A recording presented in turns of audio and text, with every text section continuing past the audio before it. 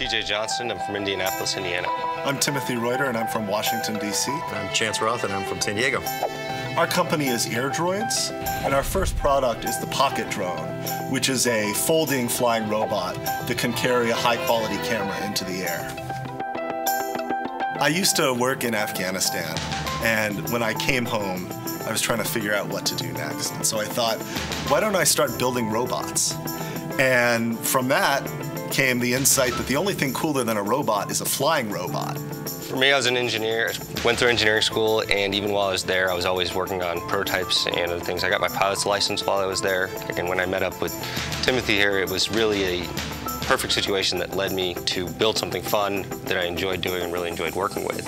I used to um, went to, uh, in a toy manufacturing company called Atomic Toys and sold millions of remote control cars the size of Hot Wheels. That's really why uh, I'm able to help these guys, you know, and get together with them and put this in the market. And It's, it's a team effort.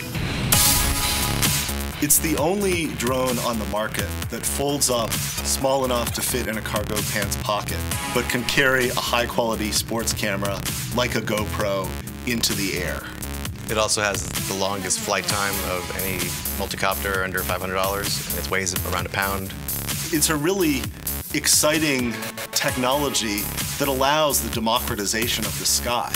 I mean, before, only governments and big corporations had the means to see the world from that perspective. And to take something that seems so science fictiony, frankly, and make it into a reality for people today is an incredibly exciting thing.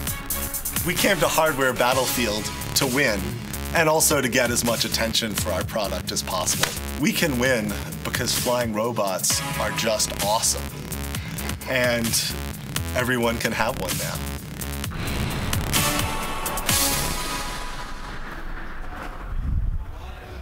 Who likes drones? Everyone likes drones. And I'd like to introduce you to Timothy, Ch- Chance, and TJ.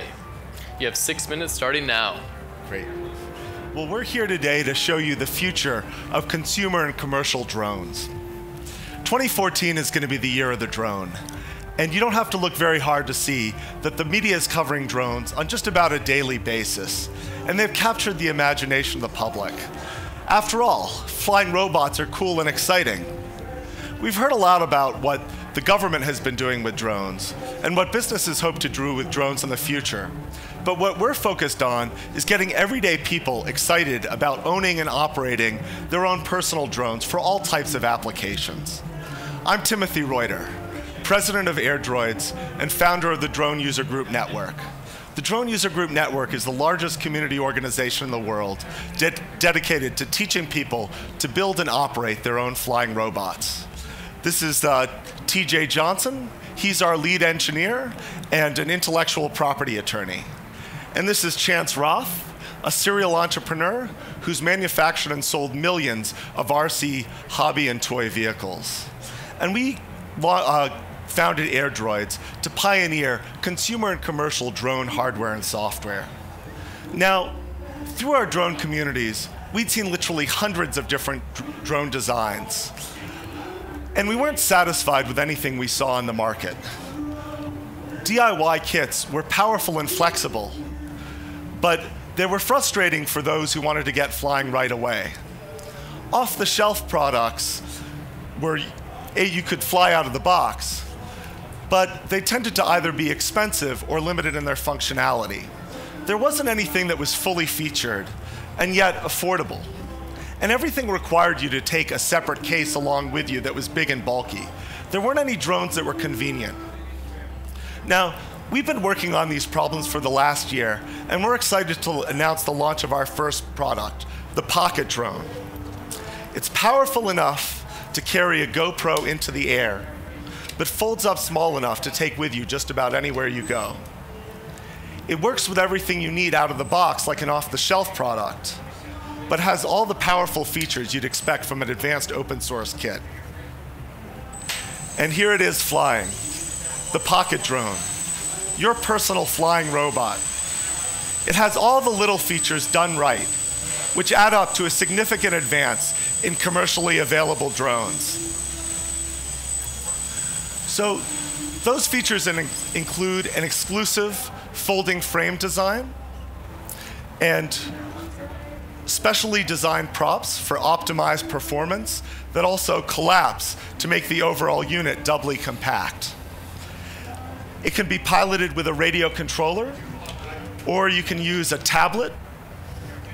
And despite being easy to use, it has advanced features like GPS enabled autopilot, flight planning with Google Maps, and a follow me feature, which, just like it sounds, will allow the drone to follow you wherever you go without having to touch the controllers. And even with all these features, it's the only drone product under $500 that will carry a camera for up to 20 minutes. That's nearly twice as long as our competitors. Now, just like the iPhone wasn't the first smartphone, we know this isn't the first device to carry a camera into the air. But by getting all the details right, at the right price, we're opening up drones and aerial photography to a whole new category of consumers. This includes parents who will be able to capture their children's sports exploits and other special moments from a whole new perspective. Homeowners and realtors will be able to take beautiful aerial photos of their properties. And bikers, hikers, and surfers will be able to document their latest adventures from the sky. There's something magical about being able to capture aerial imagery. Just think of all the amazing, beautiful, funny, awesome moments you'll be able to capture with the Pocket Drone. The Pocket Drone is a real tool, not just a toy. Now, nobody can accurately predict the size of this rapidly growing market, but there's a few benchmarks and indicators that we can look at. First, the Parrot AR drone, probably the best known consumer drone product on the market, is said to have sold about $100 million worth of units. Next, we're positioning the Pocket Drone as the ultimate GoPro accessory. And analysts say that GoPro has sold about 4 million cameras and generated about a billion dollars worth of revenue in 2013. Lastly, the federal government is expected to issue new rules around business use of small unmanned systems in the near future. This will open up the floodgates for commercial applications, dramatically expanding the market. Now, looking to the future, we're designing a line of accessories and upgrades for the Pocket Drone and working with technology partners like Qualcomm Ventures backed Brain Corporation to use Snapdragon enabled artificial intelligence to make our flight control system even easier and more powerful to fly. Now, we're really excited and proud to announce here today the launch of our Kickstarter campaign. We think we've created a really special product, but we need your support. So please go check it out at thepocketdrone.com. We can't wait to see what you'll do with the Pocket Drone. Thank you. Very good. Thank you very much. Quick poll Who owns a drone? All of you. Very good. I, I, think coming up this year, it's going to be best. Yes. So, we, are, we are representative of the world, obviously. yes. Um, Since you're all drone owners, have at it. Questions? What OS is it running? Currently, it's based on the uh, Arducopter OS and using an open source platform that we've added layers on top of to enhance the flight stability. Nice. And why did you decide on, on uh, tri versus quadcopter on the? Uh, it, basically efficiency reasons mainly. Uh, we could get more efficiency with the larger propellers for our size factor, as well as we were getting video, better video results by the tail rotor. We could directly lock and hold the camera angle a lot more accurate. So one of the one of the motors is on a servo. W- yes. Why is that? That's right. So the rear motor is tilting to be able to counter the thrust. The front two rotate in opposite directions, but this one doesn't. Whereas with a quad, you normally have four. Yeah. And so this tilting mechanism allows it to gener- counter the adverse yaw effect. The, the, the three motors also uh, optimizes for flight time uh, because you're only running, running three motors instead of four. Does it come with any built-in cameras as well? It does not. That's one of the upgrades that we're thinking about for the future is having an FPV kit, first person view. Um, although actually we do have a version on Kickstarter uh, where we'll include a high definition camera uh, and video camera um, that An has action cam. And does that, whatever camera you connect, how does that connect with the app that you're using to control it, or does it not? How are you controlling the? There's a Wi-Fi app that, just like the GoPro or high-end HD OEM cameras, they all come with Wi-Fi uh, apps for both uh, iOS and uh, Android. We didn't want to lock everyone into one camera manufacturer, so we kind of left some of that open so people could choose what cameras they like best. And whatever changes down the road, this won't get replaced by it. So I noticed that uh, the one that you showed off didn't have um, props that folded, o- folded over. Why is that? Uh, it was just a safety consideration inside this small little box. I didn't want to have a potential issue with one. Oh, okay. But And but you so tested like this the one flies. I can get it on fly right now. I just figured Yep. with the pressure of the moment, it was not the best. I understood.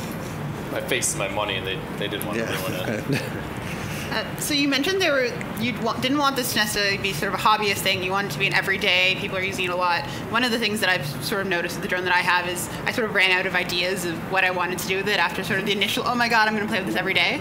Um, what do you think the most common use cases that the average person will use? I think aerial videography and photography are going to be the main ones. But in addition to sort of what we talked about in capturing your adventures or family moments, there's also even, you know, you want to look at the gutters of your home and see if they're full of leaves without climbing up there. Or even, you know, look at your how your fence is doing if you have a largish property, you know, maybe with some things behind bush. So, but you know, probably camera and video for all kinds of applications is going to be the main use case in the immediate future. We've also got some advanced research projects that are kind of taking uh, a look at like an app store kind of concept where you download your surf app or your snowboard app, that type of thing, and it's kind of an additional. Um, it's not not happening yet, but that's kind of where we're moving. That'll be V 2.0 or 3.0. And, and why won't we see the clone of the drones in CES 2015? Of, our, of ours? Yes. Um, so we are uh, trying to manufacture in North America if possible. So uh, to try to avoid some of that, I mean, clearly it's going to um, be an issue if, if we're lucky, uh, right? And so if it's uh, My, my colleagues might not like this, but I'll be a little offended if nobody clones us because, you know, if you have a good idea, somebody's trying to clone you. And all the other drone manufacturers here have had that exact same experience. How much work do you guys have left to do before you can ship 10,000 of these? We are Literally, it's pretty much at manufacture. Um, we're tweaking on mold designs right now. Uh, we have our own injection molding systems in house that we use for prototyping and test work, and so we're literally just kind of finalizing many of the design aspects there, and then make sure everything's fine tuned. Uh, our basic main flight control hardware is pretty much well set right now. I mean, we're, we're lucky because Chance has a lot of experience in manufacturing consumer products. You know, TJ is a trained engineer, so we've got the right skills here to And patent take it to market. And you've got three people on your team right now. three people in house, and you know we're pulling in uh, resources. Um, you know, our, Have you have you shipped any to test customers, or is anyone outside of the company playing with one at the moment? So actually, yeah. So we talked a little bit about the drone communities that we run, and, and people within those communities have been testing them and giving them feedback. And that's sort of how we knew we were ready to present this to the world when they were like, "Yeah, this is cool." How many how many units are in the field?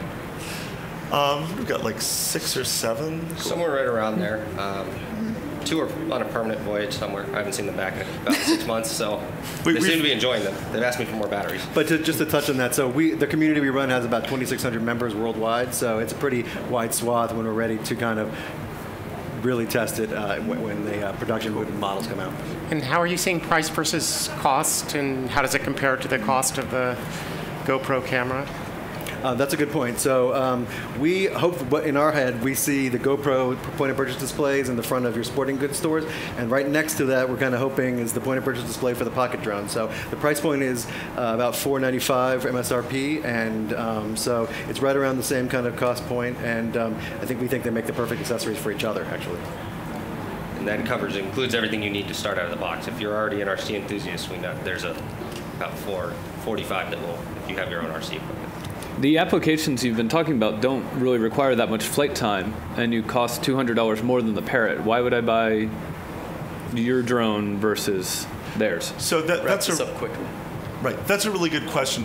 The Parrot is much more of a toy than a tool. It can't carry a high quality camera, although it does have something on board, but you wouldn't use that to really capture anything uh, high quality. Also, the autopilot uh, situation we have going on with this and the GPS. The automated follow me networking communication. There's a lot more packed into this. than Right, it doesn't have any of those advanced features. You can send Great. it off and have it come back.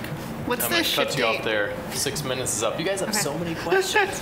We're Very glad you were interested in the product. That's a good sign. That is a good sign, a great sign. I, I like drones myself, and I'm interested in that as well. Well, thank you very much for joining us. Well, thank you. Thank you Thank for you having your us. time. So drones, we all have drones, huh? I You got one too? I have one as well. I took mine up after a big ice storm a few weeks ago. Flew it way up high, 30 meters high, and then all of a sudden my, my battery on my phone went to nothing. Oh my god. so it was a good day for in the Burns household. Well, thank you for joining us on stage here. This has been the final, uh, the final segment of Hardware Battlefield. Tomorrow at three o'clock, we're going to bring a group of these back up for the finals, where we're going to award one of them fifty thousand dollars in a gigantic robotic statue, which I'm sure the TSA is going to love.